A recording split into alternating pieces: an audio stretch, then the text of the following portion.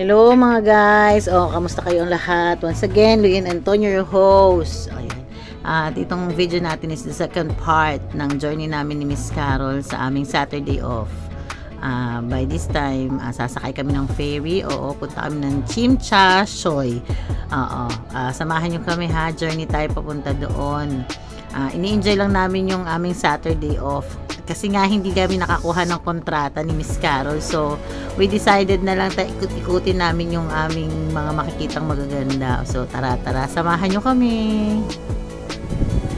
okay bili muna tayo ng ng ticket for the ferry pag wala kang octopus yan, pwede ka naman bumili ng single journey ticket. Pero kung may octopus ka no problem tap tap lang tayo sa ganun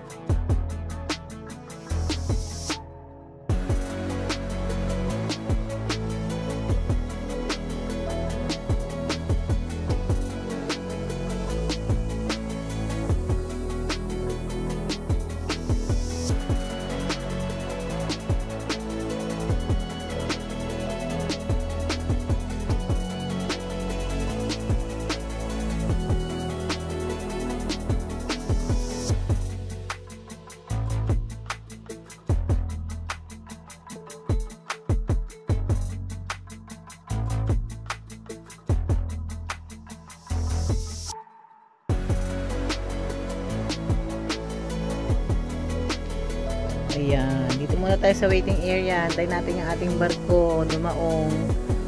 Ayan. Ang dami rin nag-aantay, no?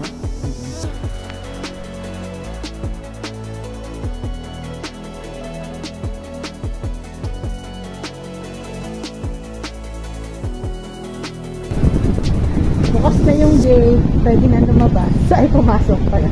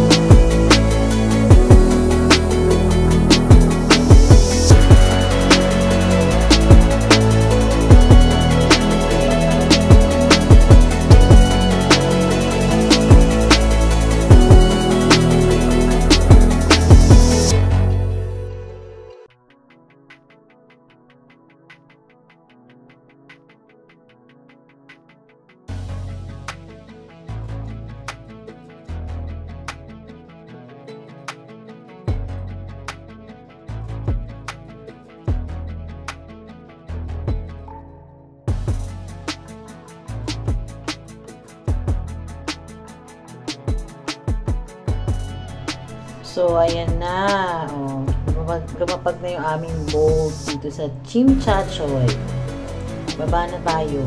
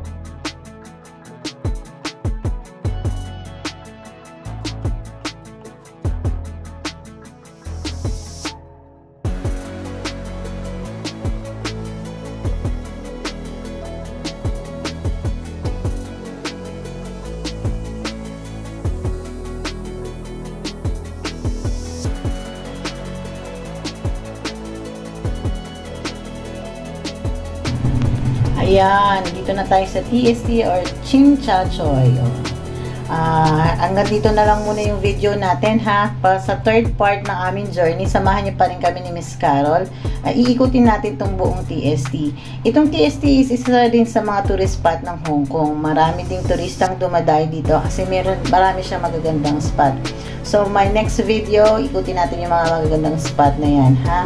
O, sa ngayon guys, ito lang muna yung pasilip o patikim para sa TST view, no? Uh, sa mga hindi pa po nagsasubscribe sa channel ko, uh, mag-subscribe na po kayo and hit the bell button para po lagi kayo updated sa mga upcoming video ko pa. Sa mga sumusuporta naman at mga kaibigan, maraming maraming salamat. Sana po patuloy kayong sumuporta sa mga video ko pa. Hanggang dito na lamang po. Uh, tatapusin ko na po yung video natin at sa susunod na video natin, ang next pag-aala po natin. Mag-iingat po kayo sa anong lahat at paalam sa inyo. Paalam na. Bye-bye!